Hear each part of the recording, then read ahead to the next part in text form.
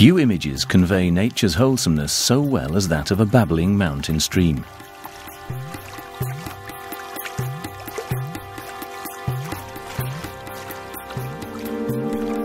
At each stone, the water whirls and draws in air. The water breathes.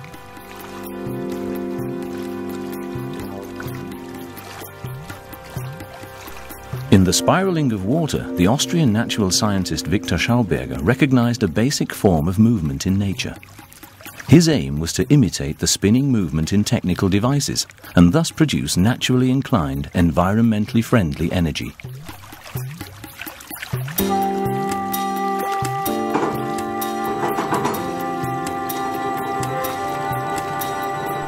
Schauberger developed revolutionary propulsion units with which, for example, aeroplanes are not pushed but drawn forward.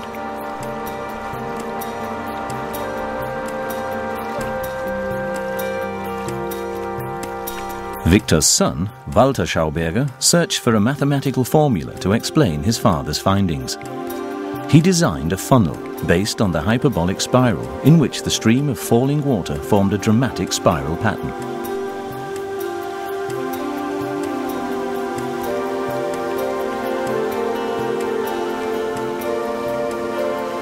Seen from above, it looks like a spiral nebula in space. Further down in the hyperbolic Schauberger funnel, the pulsating double helix reminds us of the DNA spiral. A coincidence?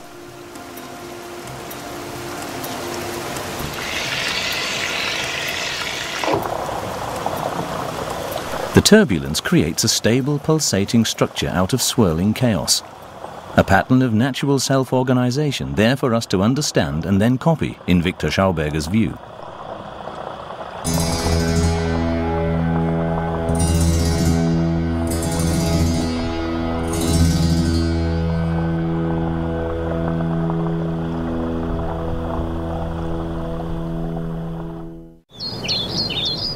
Faithful to the silent forests was the maxim of his ancestors, Victor Schauberger was born on the 30th of June 1885, son of a forest superintendent. The house where he was born in Holzschlag in the Mühlviertel region of Upper Austria. Victor attended forestry school and graduated in 1904.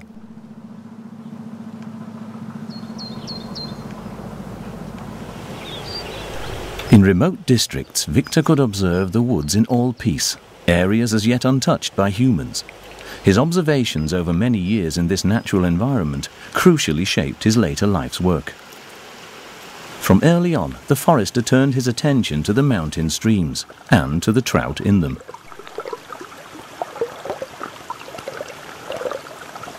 Victor Schauberger recognized that the fish do not only swim against the stream, but that the water itself can flow in opposite directions. He himself started to go against the tide of current doctrine. Simple forester that he was, Victor, here with his wife Maria and son Walter, was soon to astonish the scholars.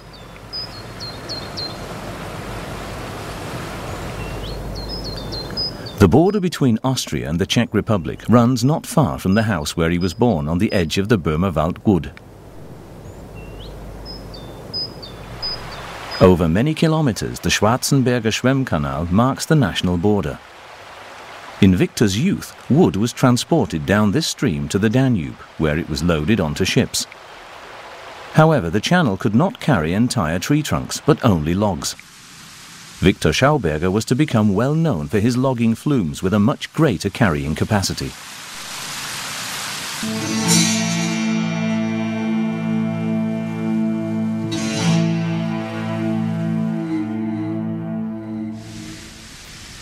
This small pond is what remains of a storage lake. A few years ago, it was still full of water, Lake Taschel. And 80 years ago, innumerable felled trunks floated in it, especially in the spring. In 1929, a documentary was filmed here. The forester Schauberger used his knowledge of the powers inherent in water to build a modern logging flume in the Mürz Valley in Green, Styria. Eine moderne Holzschwemmanlage. Approaching the weir from the valley. Beneath the intake gate, a steep chute accelerates the departing timber.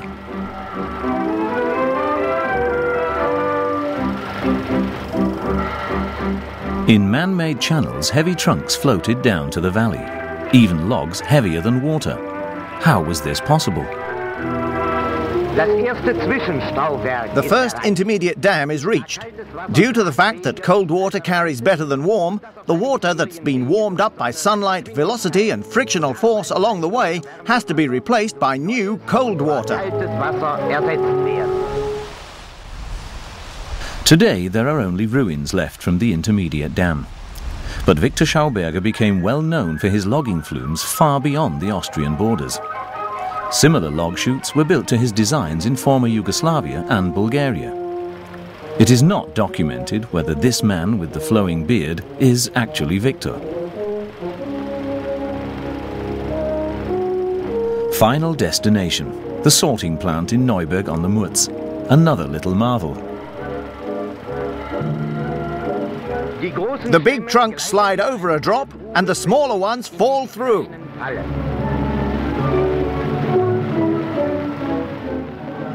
The lumber plant at Neuberg on the Murz is going to be partly rebuilt for demonstration purposes. This is worthwhile because, as a construction for water regulation, it was unique in the world. In the only sound document of Victor Schauberger's from the year 1955, he explains the most important underlying principle. Man fließendes Wasser durch eine bestimmte Bewegung rekreiere, erfrische dann erreiche ich den Anomaliezustand, die, die höchste Dichte, die größte äh, Schleppkraft. Das Wasser fängt zum Ziehen an und damit habe ich das erreicht, was ich beim Schwimmen haben. But what did Victor mean by moving in a certain way? His grandson, Jörg Schauberger, offers further details. These logging flumes all meandered down to the valley. There were further structures along the way which swirled the water within the channels. This enabled the water to carry even heavier loads. Many people have tried to build similar structures, but my grandfather's logging flumes were the only ones that really worked. Victor Schauberger received many patents for aspects of his logging flumes, as well as for natural watercourse regulation devices. and for the guide vanes that divert the water into the middle of the river, preventing damage to the banks. In the Pythagoras Kepler School in Bad Ischl, Victor's grandson Jörg and his wife Ingrid have held numerous courses and workshops on the topic The Nature and Movement of Water.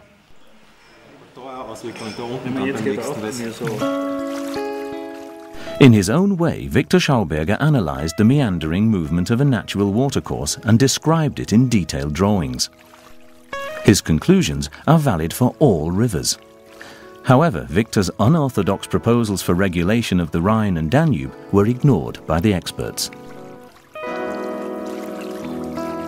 Even on a smooth window pane, water doesn't flow straight down but starts to meander.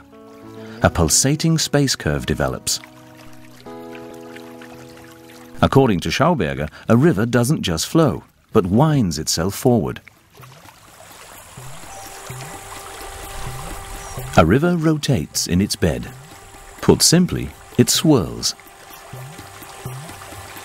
In the bends, the current is fiercest, ripping up and grinding the boulders in its bed. In Victor's words, the river chews up its stones. The minerals contained in them are food for the water. When the turbulence diminishes, the sediments slowly settle down again. Where the river deposits the most, a ford is formed.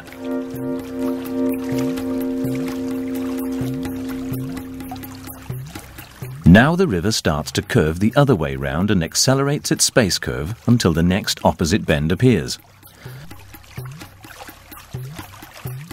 Victor Schauberger called this alternation between the left and right-hand curves with fords in between a curve or river generator.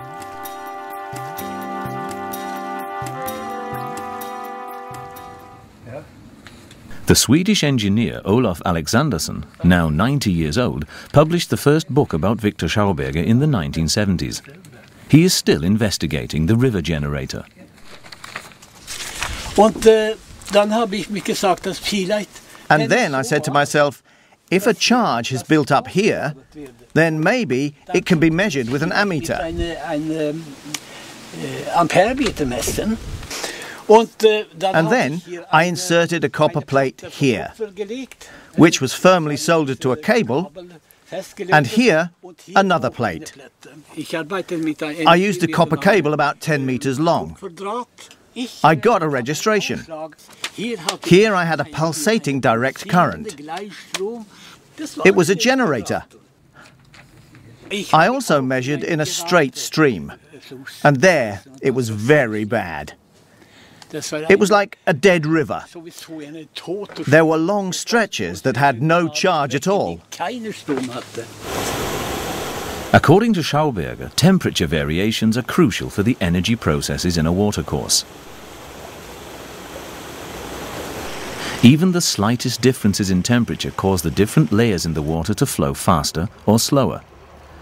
The water rubs against itself, bringing about ripples and vortices. A positive consequence is that the river slows itself down. In 1930, the Austrian Academy of Sciences confirmed the receipt of a sealed envelope entitled Turbulence. In it, Schauberger described his theory about the interdependence of water temperature and movement. The Academy kept the document under seal for 50 years. A confession that the time was not yet ripe for unlettered Schauberger and his practical perceptions from nature.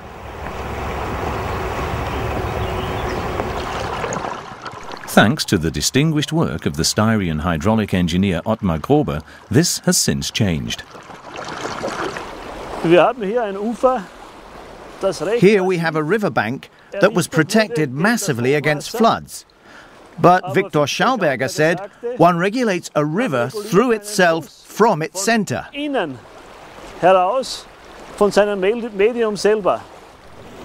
Normally, hydraulic engineers shore up the riverbanks with stones. Grober does it differently and, incidentally, more cost effectively. He places the boulders in a river like here in the Salza. The stones are deposited to form a chute. And then Grober had the idea of building an even larger chute in the longest river in Styria, the Mur. The rocks, each weighing a couple of tons, are mechanically placed into the riverbed at low water.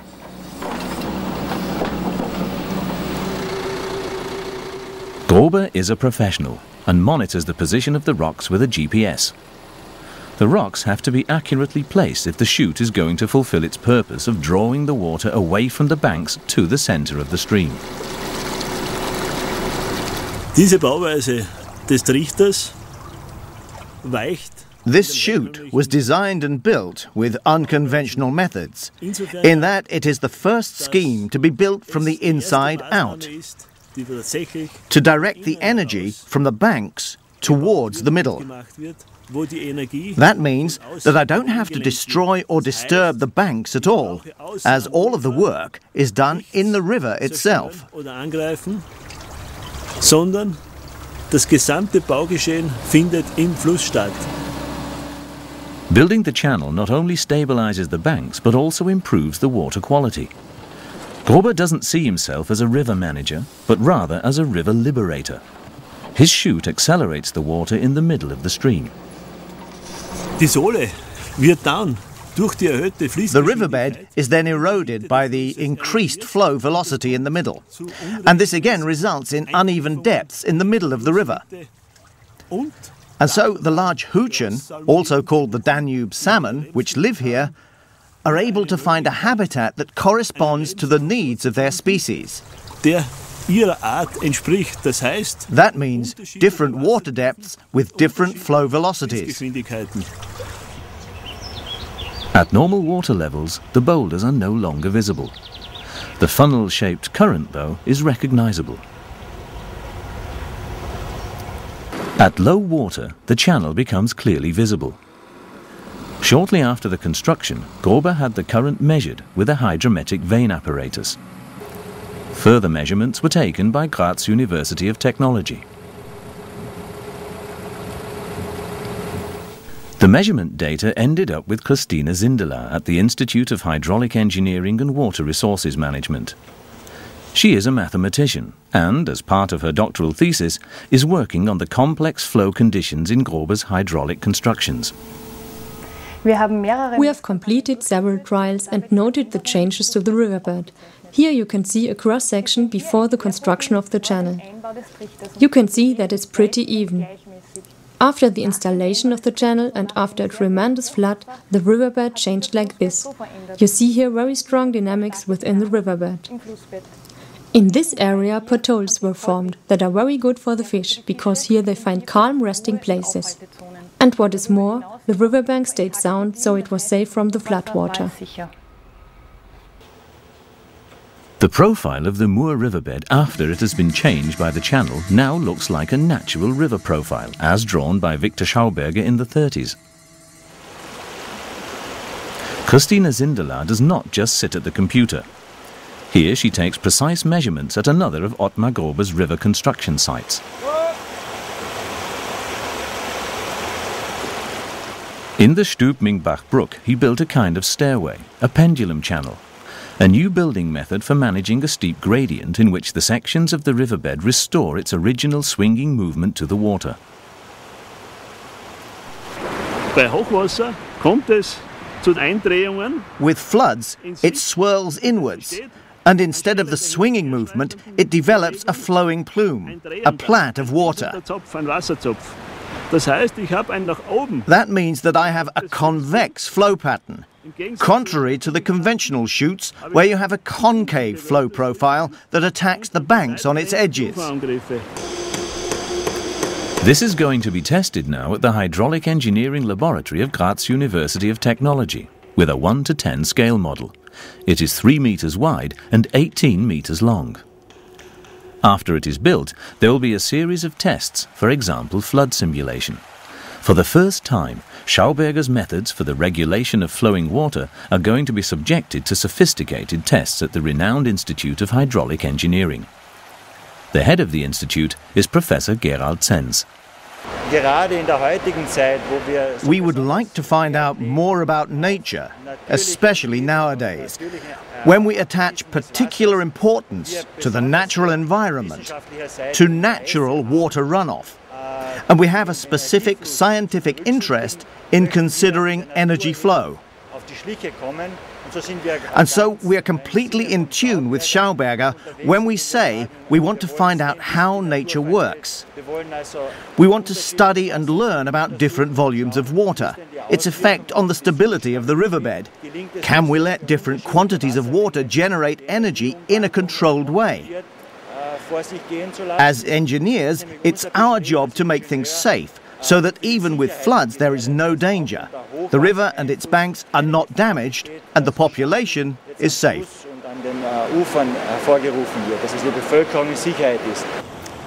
In practice, the pendular chute has already proved itself. The tests on the scale model are to give us a sound scientific basis, not least for the construction of more new channels. An der großen Tulln on the Großen Tulln, near the Wienerwald in Neulengbach, an old weir system is to be replaced by a pendular chute as part of the restoration project. This will enable the fish to move freely through the waters again. And at the same time, a forest is planned on the floodplain. And in this alluvial forest, a Viktor Schauberger Park is to be established.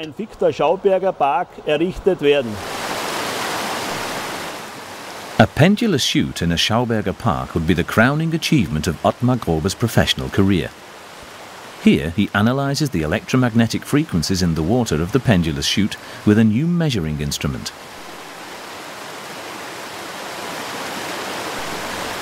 Different aspects of his hydraulic engineering measurements have already been the subject of theses at the Graz and Braunschweig University of Technology. The time finally appears to be ripe for a Schauberger-style river regulation system.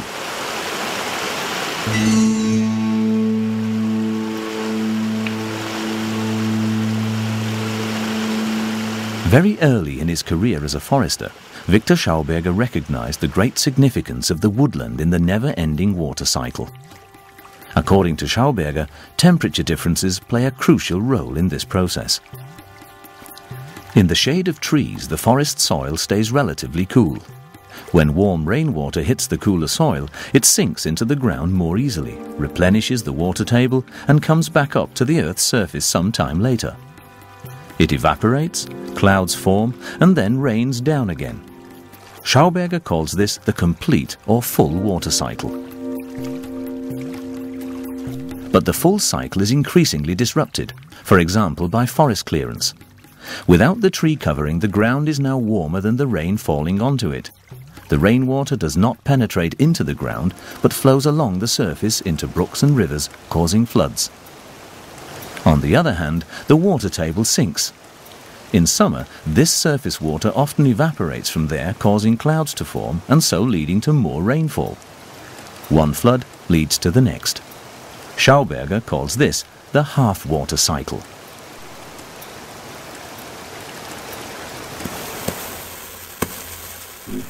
On a hot plate, it can be seen in a dramatic demonstration how the drops of water roll off. In a similar way, it can also be observed on hot asphalt. Today this is known as the problem of sealing of natural surfaces. Das Wasser kennt heutzutage praktisch nur mehr den halben Today, basically, water goes through only half of the water cycle. It can no longer penetrate into the ground, stay there and regenerate. Victor Schauberger wanted to solve this problem mechanically, and so developed a machine for the production of spring water like drinking water. Er In 1935, he obtained a patent for it.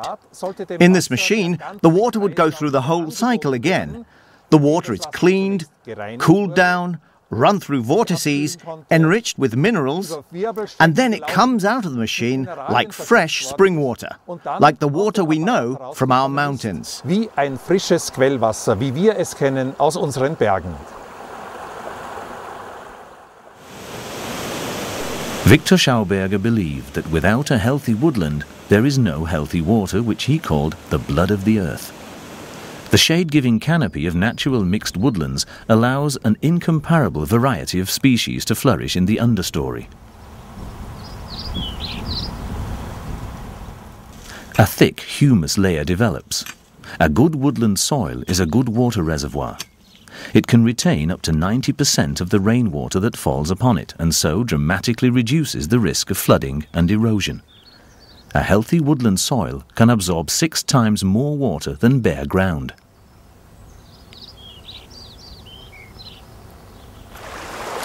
The cooling shade of the trees is just as important for a river. If humans do not interfere, the shade providers grow by themselves on the riverbanks. Victor Schauberger was probably one of the first people to talk of the dying forests. As early as the 1920s, he warned about radical deforestation and the replanting of trees in plantation monoculture. It is a tragic consequence of Victor's life's work that his ingenious water channels led to the massive deforestation that took place in Austria and elsewhere.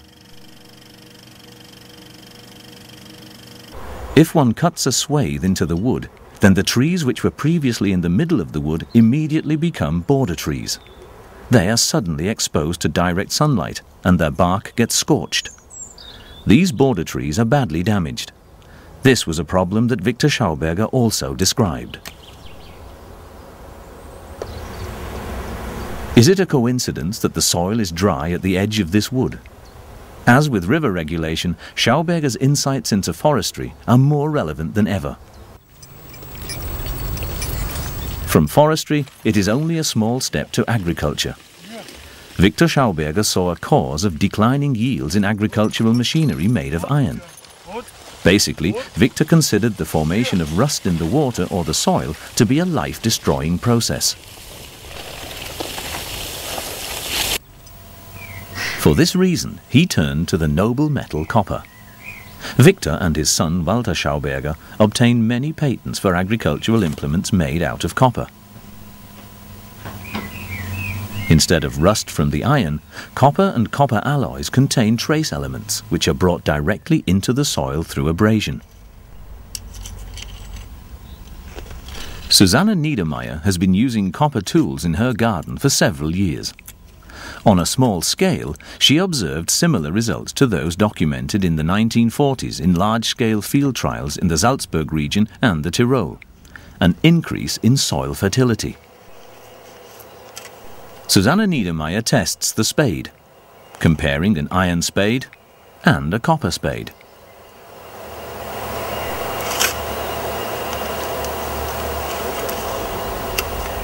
Also beim well, with the copper spade, I have to say, it just goes into the ground more easily. With copper tools, it seems that the trace elements also get into the soil. It seems to me that the soil in the whole garden has become homogeneous, so we don't have so much trouble with snail damage. It simply makes the work a lot easier. I recommend it. Victor Schauberger developed a special plough for loosening the soil which turned the soil inwards centripetally rather than outwards centrifugally. Unfortunately, there is only one model of the spiral plough, also known as the bioplough. Klaus Rauber of the Association for Implosion Research in the Schwarzwald explains how it works.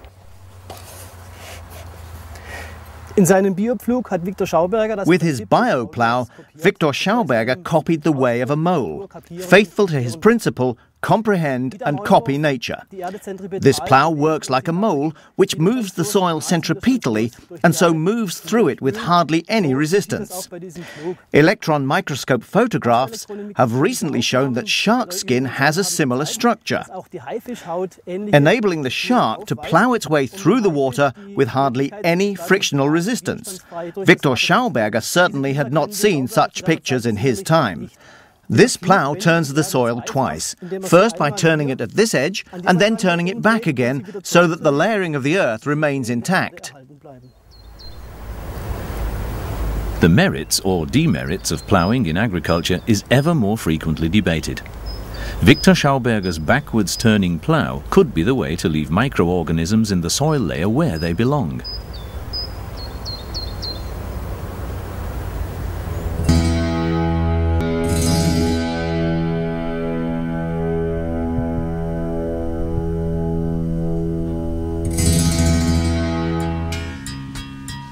The Kudu antelope horn is an outstanding ear trumpet for sound amplification. But Victor Schauberger was interested in another characteristic. For him, the Kudu horn was the ideal model for water pipes because of its twisted spiral shape. In many countries, Victor and Walter Schauberger obtained patents for their spiral pipes.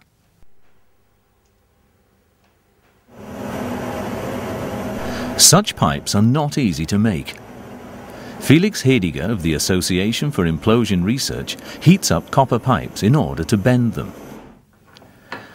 With a roller he made himself, he can twist the now flexible copper pipe.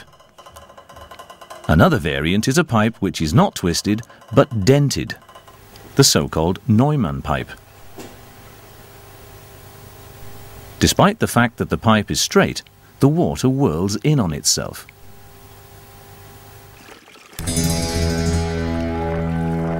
The water flows in a spiral space curve.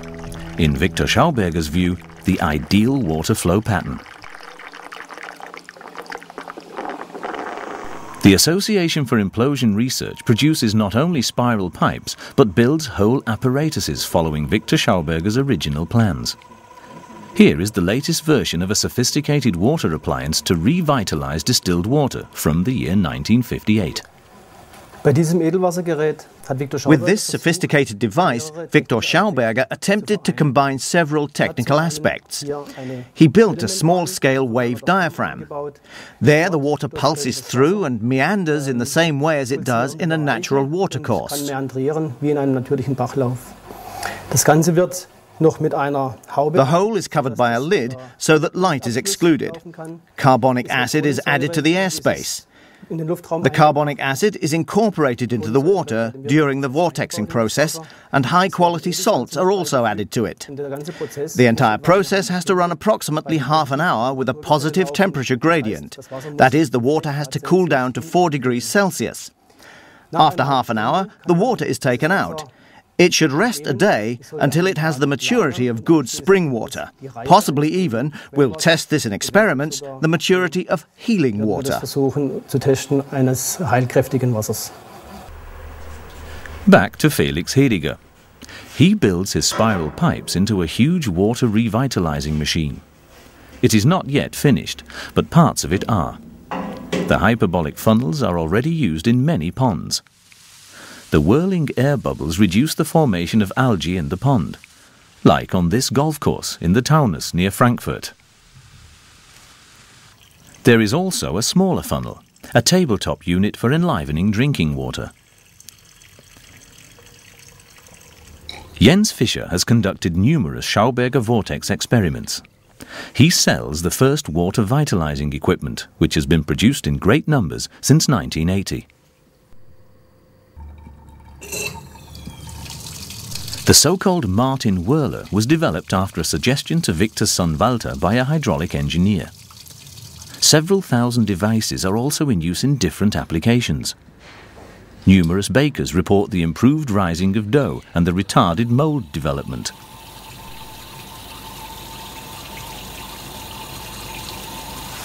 The whirler has also been used in hydrotherapy for many years. According to medical opinion, the world water can relieve tensions in the neck and shoulder areas as well as ease rheumatic pain.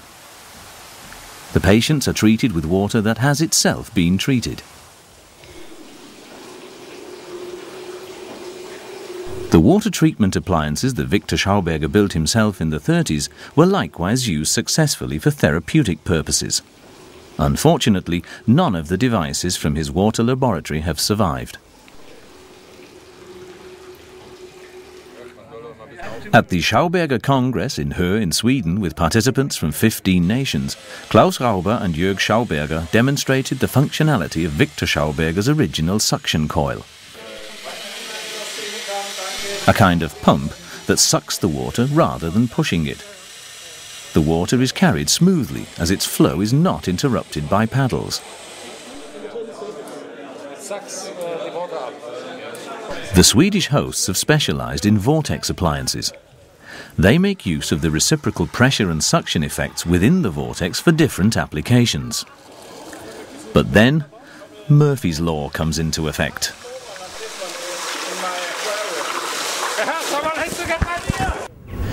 After the camera is dry again, a visit to nearby Malmo.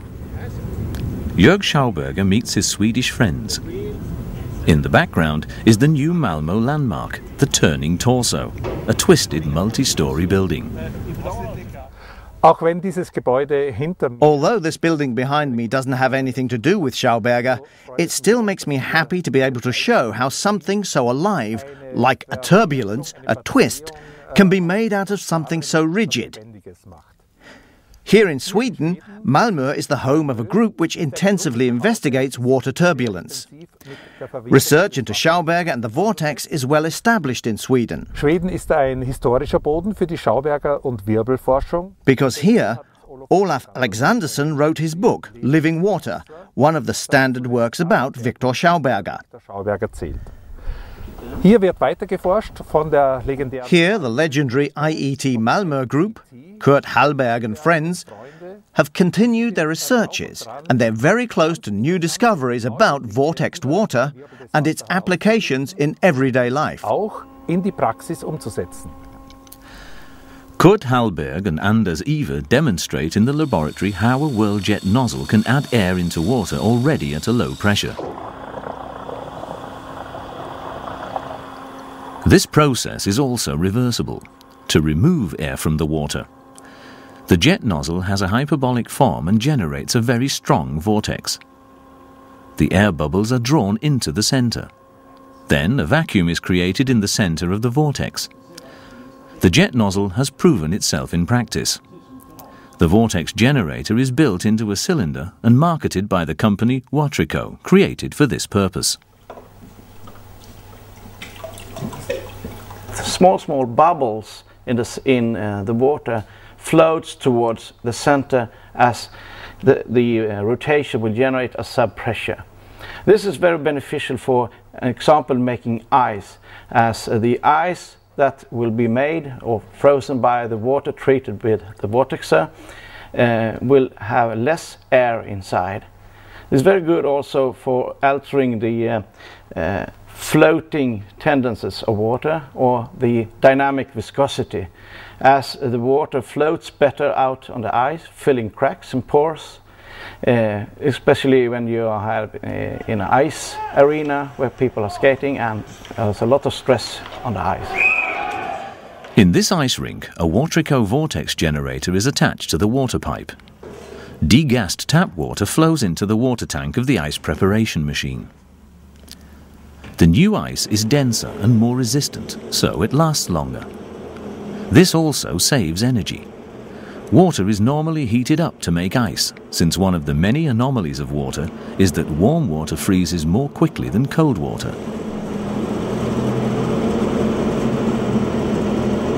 Before we had installed the system, the water needed to be heated up to 45 degrees. Sometimes some people use 55 degrees.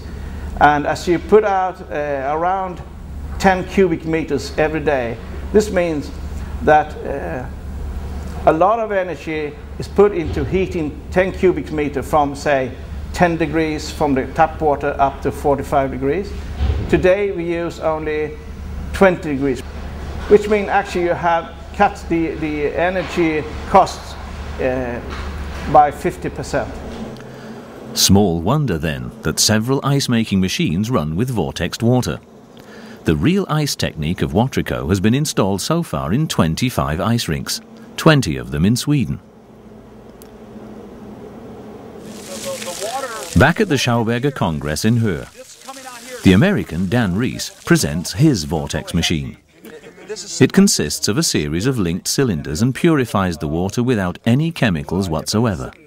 Uh, I read Living Waters. This is how I got into this. I read a book called Living Waters by Olof Alexandersson, and Victor Schauberger was the main person in this book, and he uh, uh, he wanted clean water for everybody. First, Rees uses the vortex tubes to remove iron and sulfur from the groundwater in his native Texas. Now he is trying to desalinate seawater with this energy-saving technique. I know it's possible. It just uh, it's just a matter of time now. Uh, we're, very, we're we're pretty close. Uh, uh just getting chloride removal is very close. Dan Rees has left one machine there. The Swedish team has installed new jet nozzles in order to optimize the development of the vortex.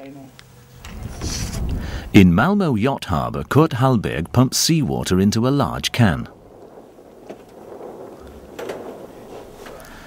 In the laboratory, the water runs through the vortex tubes. With the initial trials, they achieved a significant reduction in the salt content and also the pH value.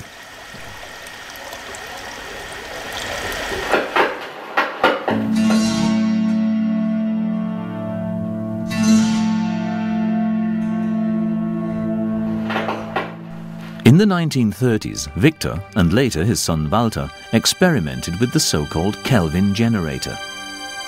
When falling through copper spirals, thin strands of water produce high electrical voltages.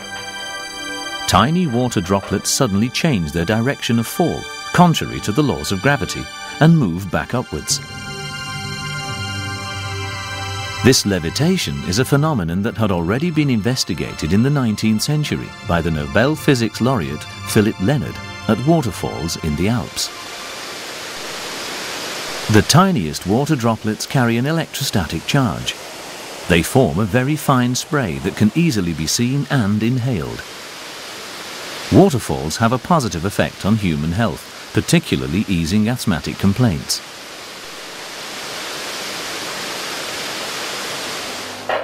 Although over 10,000 volts was generated in the water thread experiment, no significant electrical current was produced.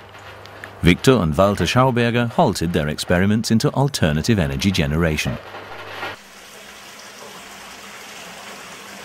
In the beginning of the 1950s, they started a new approach, based on the spiral pipes. They had already used these as the optimum curved shape for their water channels. In 1952, Victor Schauberger's patented spiral pipes were tested at the Stuttgart University of Technology, the legendary Pöppel experiment. Schauberger's frequent attacks on academic science, especially on water resource management, caused a number of politicians to commission Professor Pöppel to test Schauberger's pipes. The aim was to confirm or disprove Schauberger's ideas once and for all. For these measurements, Schauberger provided Franz Pöppel with some pipes. Amongst others, there was a straight copper pipe, as well as a double-coiled spiral pipe. The aim of these measurements was to test and compare the vortex flow processes within the pipe, in order to determine whether or not this shape of pipe enables the water to pass through with reduced friction. With these measurements, the relationship between friction and the flow velocity within the pipe was determined. There were clear differences between the straight and the spiral pipe. With the spiral pipe in particular, a sort of critical resonance point was discovered, at which the water flowed through the pipe without any apparent resistance. However, some interpolations were made which, at a closer look, would not stand up to scientific investigation. In his preliminary investigations, Professor Pöppel didn't take enough measurements, especially around those fascinating resonance points. For this reason, the Association for Implosion Research decided to set up the experiments again and repeat the tests. At the time, however, Victor Schauberger was encouraged by the Pöppel report to make the spiral pipes the core of his own energy machines, for example, in his home power station from 1955. This allows energy to be produced from water and air. For Victor Schauberger, conventional explosion technology was the technology of death. With his home power plant, he hoped to stimulate atomic conversion processes through implosion, fulfilling the dream of a non-polluting energy converter that is economical with natural resources. Water jets of enormous force develop in the spiral pipes. But on the very first test run, the pipes burst. A second prototype was drawn up by Victor's collaborator Scheriau and built later in Canada. Now this suction turbine has been brought to Germany for closer investigation. Firstly, it's powered by a motor until it reaches a working speed of rotation. After this, water is run into the turbine, and the tangential rebound of the water jets with these nozzles causes the rotor to turn by itself, so that the drive suddenly starts to run on its own, generating enough electricity to supply a household. The regulation for this entire process is in the lower section. The water flow is controlled with this nozzle.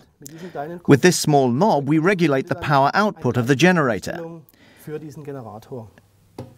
Here we have the intake vents. In the center of this fixed part is an ascending coil with a built-in suction coil, another core piece of Schauberger's machines. But first, several components have to be revised and adapted, especially the links between the motor and the generator.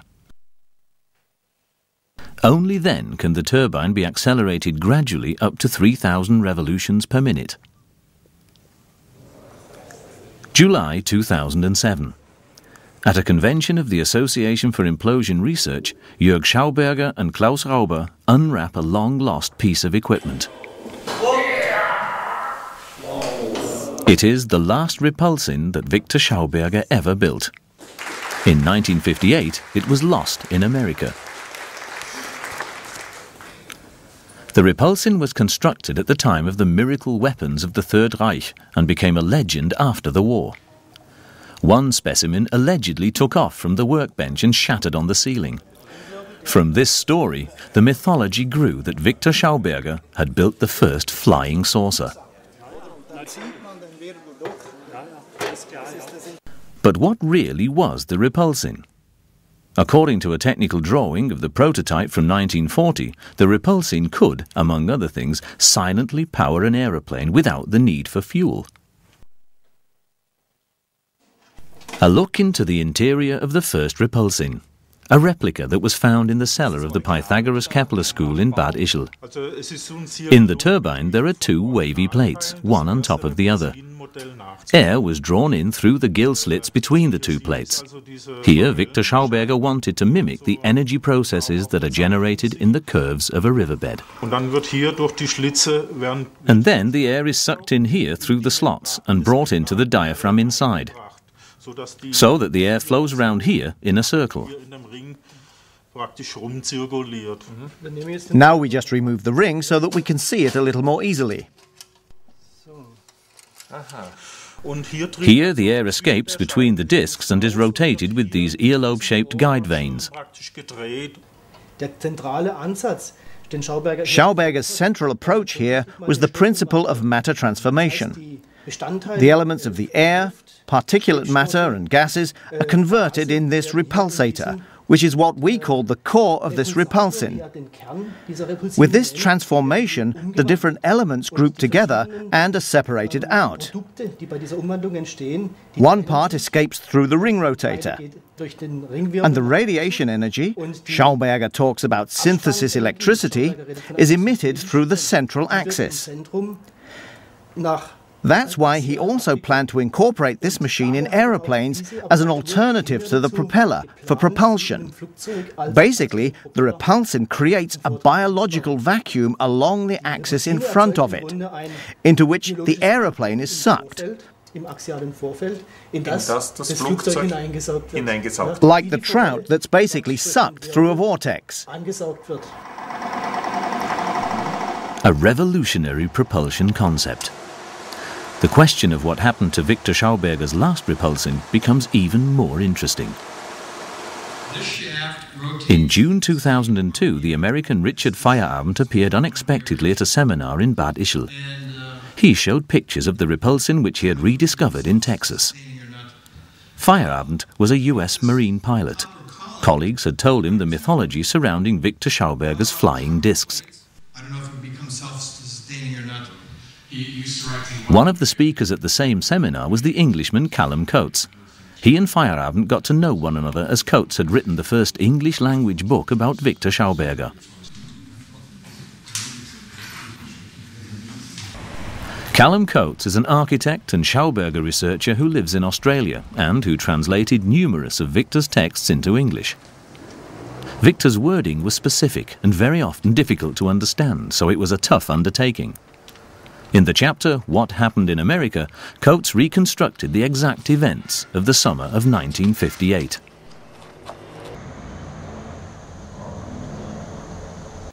In the Schauberger archive in Bad Ischl, Ingrid Schauberger presents Victor's correspondence from that time.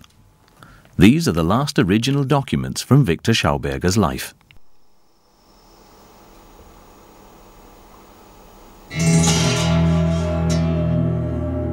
With this knowledge, his grandson Jörg went to America in April 2004. First stop was Fredericksburg in Virginia, the home of the Feierabend family.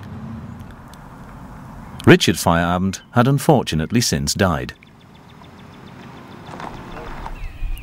Jörg Schauberger was welcomed by his widow, Patty. Hey. Patty Feierabend showed all the documents which her husband had been able to secure and which have not yet found their way to Europe.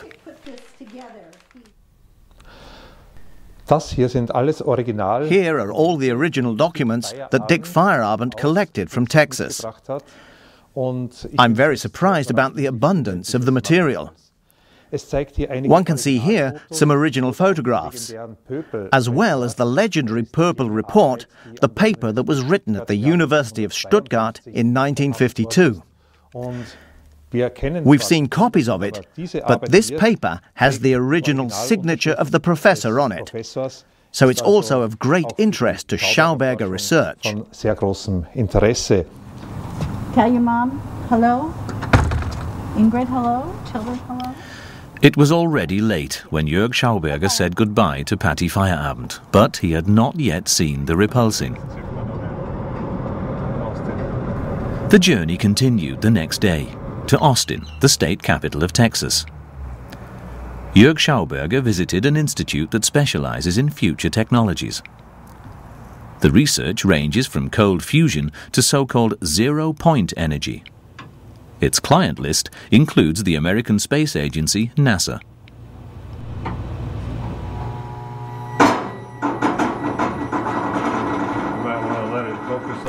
And here it stands on the test bench. Victor Schauberger's Repulsin from the year 1945. Richard Feierabend had brought the machine back to Texas shortly before he died. He wanted to know whether it could produce a lift, in other words, overcome the force of gravity. Hal Puthoff, head of institute and a renowned experimental physicist, showed Jörg Schauberger the test stand.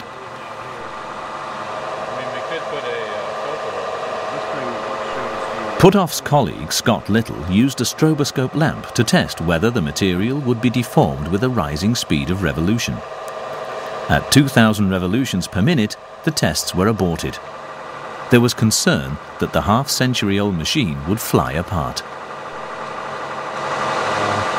I must say, one of the things I was impressed with was uh, the quality of the construction, considering it was from the 40s and uh, for example, when we put it on its bearings and spun it around, it spun very freely, as, as good as any modern bearings, actually.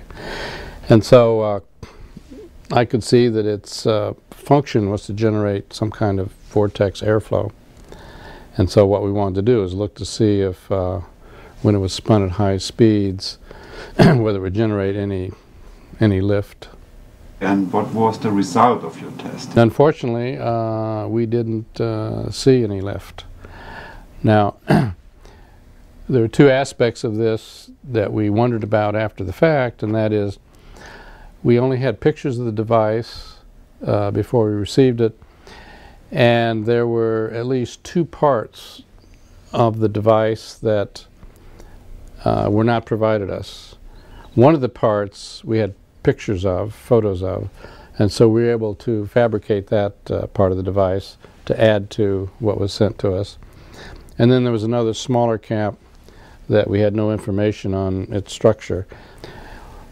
It wouldn't look like it would pay, play a major role, but you know we can't be sure. So when we didn't see a good effect, we didn't know if perhaps uh, we were still missing a significant part. Like this and with tools. For the first time, Jörg Schauberger saw the interior of his grandfather's last repulsin. What is his conclusion? Also das, was man von den Schauberger fliegenden Untertassen. Well, what we had hoped for from Schauberger's flying saucers did not happen, unfortunately. But it has to be said that not all the parts were there. Victor Schauberger had said that the catalysts in particular were essential for his machine to move in a way that corresponds to nature, and these were missing. We should have been able to obtain energy without wasting resources, with machines that run on only water and air. We'll see what comes out of this. So, it will be back to the drawing board for a while before we can publish new findings. Mit neuen Erkenntnissen an die Öffentlichkeit treten kann. Jörg Schauberger has a different aim at the moment. He is following his father and grandfather's footsteps to the Texas Oklahoma border, to the Red River of Western movies.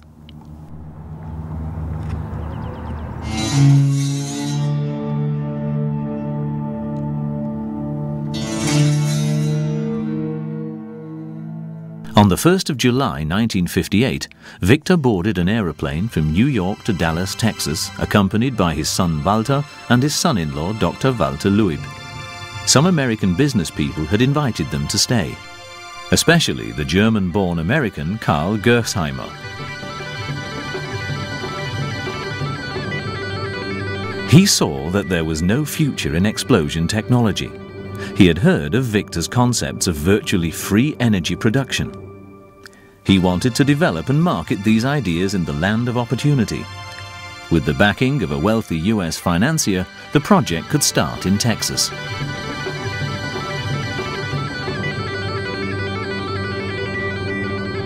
So, in the summer of 1958, Victor and Walter Schauberger came to a remote semi-desert area in the north of Texas. 73-year-old Victor had difficulty with the oppressive heat but he hoped to be able to complete his life's work here. Grandson Jörg looks for clues. The only photograph of his father and grandfather together in Texas.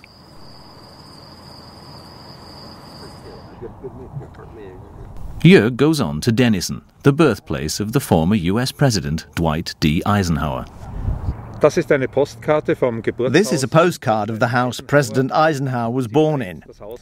It shows the house as it looked in 1958 when my father wrote this card to us back home.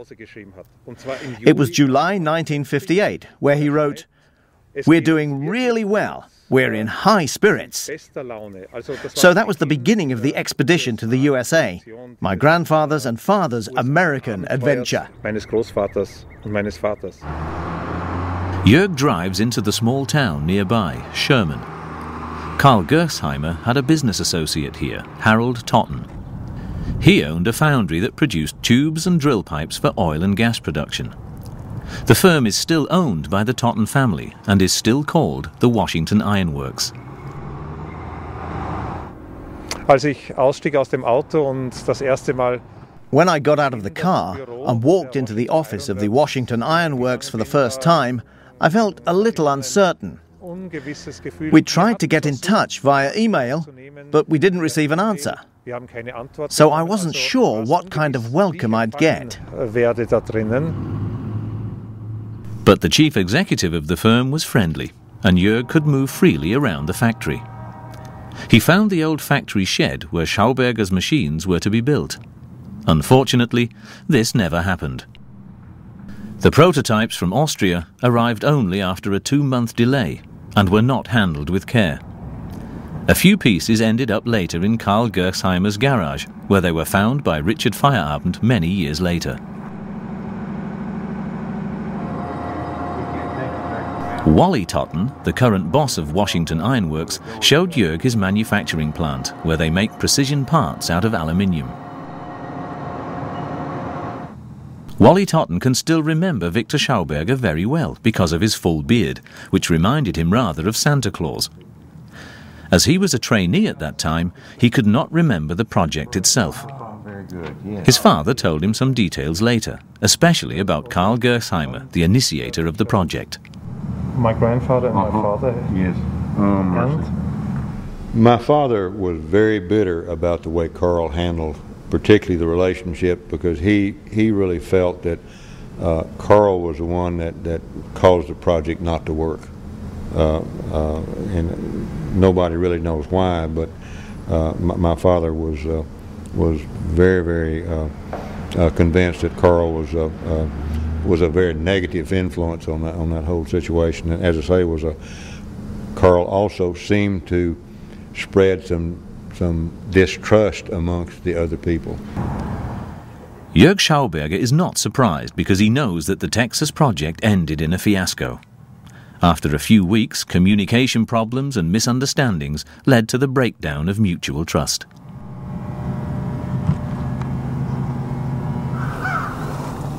Victor refused to stay here in Texas any longer than three months.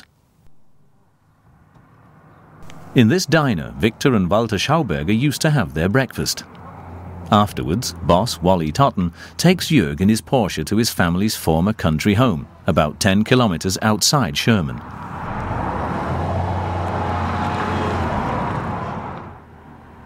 This is where the Austrian inventors stayed. The Totten family sold the property some 20 years ago. Today, it is pretty run down. Wally Totten was sorry about that because in 1958 it looked quite different. At, uh, at that time, my father kept it very much like a golf course. Uh, it was a, a, wooden rail fence around the property. It was kept mowed and trimmed, and we had horses and cows and, and that sort of thing. It was it was a working farm but uh, very neat, unlike the way you see it now. It breaks my heart to see it this way. Uh, I'm glad my father can't see it. Here, Victor and Walter Schauberger spent most of their time during their stay in Texas. They wrote letters and essays and drew project sketches, but the Americans seemed suddenly to have lost interest in them. In den ersten Tagen und Wochen waren sie ja noch in the first days and weeks, they were still very optimistic and full of confidence that the project would provide the breakthrough and that they would be successful here in the USA. As the weeks went by, and with nothing to do out here, the letters got more and more pessimistic. until a point was reached where it couldn't go on anymore.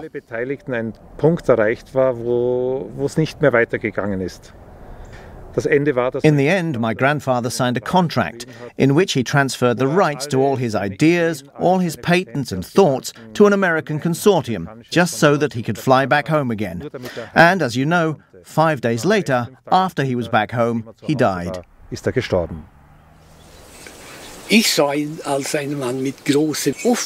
I saw him as a man of great insight. In the 30s or even later, if people had listened to Victor Schauberger, we would have been spared all the disasters we have today and which we're expecting to have. It cannot be different. Nobody could see the problems of life so comprehensively as he did. We cannot live without a living nature. That is quite clear. Das ist doch einfach.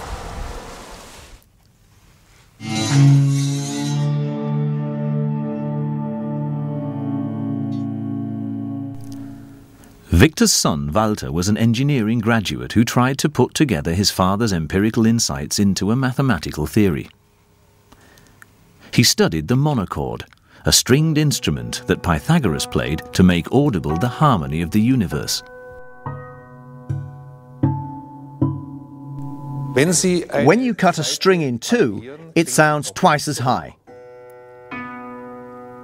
When we now take a third of a string, it sounds three times higher. When we divide it into quarters, four times higher, and so on. From this pattern, my father, Walter Schauberger, derived his law of sound. For him, it was a universal law, the law of the universe.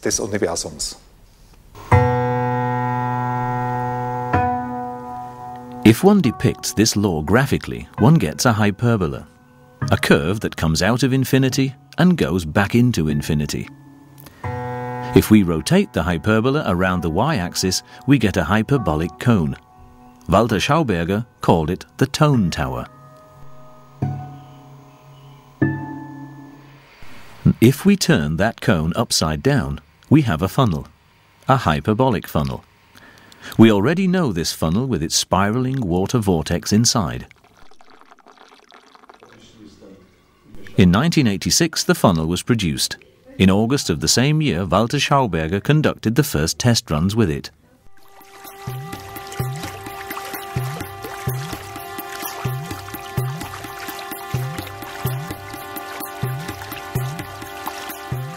A stable pulsating structure develops out of a wobbling chaos.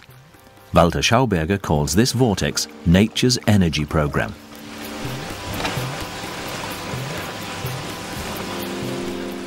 It is controlled by frequency, this double helix, and instead of frequency, we say the number of revolutions. And then it's white at the bottom. Innumerable gas bubbles spiral around the plate in the center, a characteristic energy vortex pattern. In a natural river course, longitudinal vortexes form up like this. Walter's father Victor declared that this spiraling motion also appears in the three-dimensional helix around a hyperbolic cone. When it is cut along the diagonal, one obtains an oval section plane, which corresponds to a natural egg shape. As far back as 1609, the astronomer Johannes Kepler suspected that the planets moved in oval courses, but he described them as ellipses, because elliptical equations were already known back then. Thus, the hyperbolic cone, the tone tower, is a link between the harmony of Pythagoras and the astronomy of Kepler. Walter Schauberger summarized his mathematical theory under the term Pythagoras-Kepler system, known as PKS.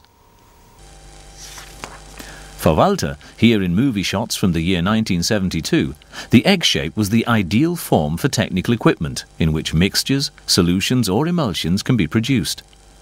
An egg-shaped reactor would offer new possibilities for energy generation, but a lack of money put an end to the trials. Walter Schauberger received many patents for spiraling treatment systems for fluid and gaseous media.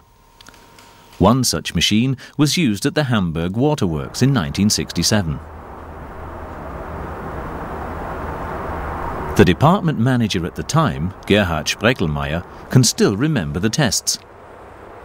Schauberger's parabolic-shaped stirring machine was at the bottom of the tank. An underwater motor turned a propeller to produce a vortex. We tried to add chemicals to it, since the chemical balance in water is always tricky to manage, and we had good results. We welcomed Mr. Schauberger gladly, a well-rounded and open-minded man. We gave him the nickname Schlauberger, which means something like clever mountain man. So we carried out our tests here, but we didn't need them in the end, because we found other ways to adjust the chemical balance. Despite the success with the reduction of the chemical input, the Hamburg project ended ingloriously. The parabolic-shaped bowl was put to a different use, a two-metre wide plant pot.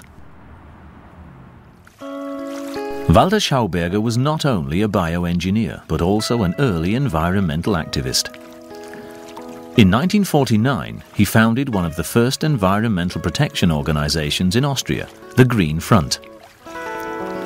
Reforestation was a priority. Schauberger maintained close contacts with the Men of the Trees in England and with the German Woodland Protection Association, here at a meeting with the German President Theodor Heuss. In 1970, Walter Schauberger founded the Pythagoras Kepler School PKS in Bad Ischl. The seminars and lectures aimed to promote natural technologies. The engineer and journalist Gottfried Hilscher was often a guest at PKS and was the first German author to describe Walter Schauberger's approach to energy generation.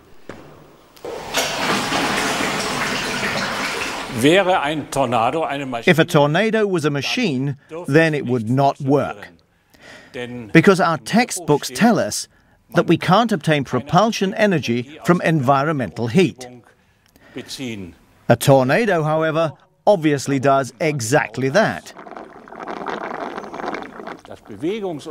Nature's method of movement and energy generation is implosion, not explosion. That means suction instead of pressure, movement directed inwards, not outwards. Walter's wife, Ingeborg Schauberger, now an old lady, can still remember his brave words. Don't parrot what is explained in books in such detail, but think in the opposite direction instead. As the father had told his son, Walter, when it is about technology, you just have to think 180 degrees differently. Then it turns out right. In 1996, two years after Walter Schauberger's death, the seminars resumed. Among the first contributors and supporters were Kurt Lorek, Norbert Harthuhn and Uwe Fischer, Maximilian Mack, Konrad Richli, and Wilhelm Martin. Ingrid and Jörg Schauberger have run the PKS seminars since the year 2000. In 2006, the English hydrodynamics researcher John Wilkes was a guest lecturer. He developed flow forms in which the water pulsates rhythmically over bowl-shaped cascades. They serve to enliven the water and are also artistic landscape architecture. Today, one such flow form is installed in front of the PKS villa in Bad Ischl. The form of the biotope is appropriate for a Schauberger institution, egg-shaped. The vision of the trout turbine.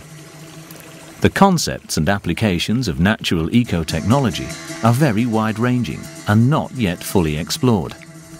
Jörg Schauberger's view Victor and Walter Schauberger's insights should be seen as an invitation to be inspired. So the point isn't to stick to the literal meaning, but develop one's own ideas and thoughts for a future with and not against nature. Maybe we can add a third C to my grandfather's C and C motto comprehend, copy, and cooperate with nature. Otmar Grober in Styria has been cooperating with nature for a long time by building his river constructions which protect the riverbanks and vitalize the water at the same time. After he retires, Grober plans to develop a water power turbine. It is to be a bioturbine according to Victor Schauberger's principles, which achieves a greater energy output without damaging the water and which lets the fish carry on swimming upstream. In Sweden, the Malmö Schauberger Group vitalizes numerous public and private ponds with its vortex systems, with visible success.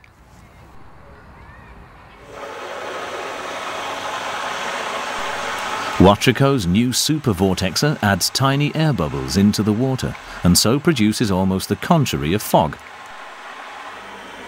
Not small water droplets in the air, but air bubbles in the water. An efficient and promising method for aerating filter beds, for example. The Association of Implosion Research is going to conduct further repulsin tests with catalysts such as silica gel.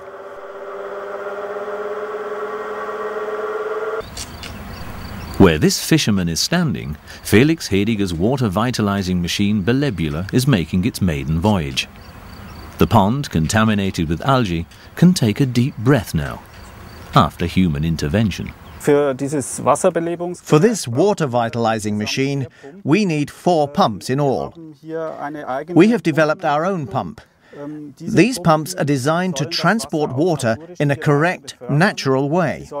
They don't smash up the water as conventional centrifugal pumps do. One can see that the rotor is screw-shaped and formed into a spiral. That is typical of the Schauberger way. To this extent, this pump is also inspired by Schauberger and Schauberger technology. Schauberger Technik. The solar-powered pumps bring up cold water from a depth of 3 metres. First it comes into vortex eggs, which have had minerals inserted. The water then rises further upwards in spiral pipes, and then either falls through a hyperbolic funnel or falls back on itself as a jet of water.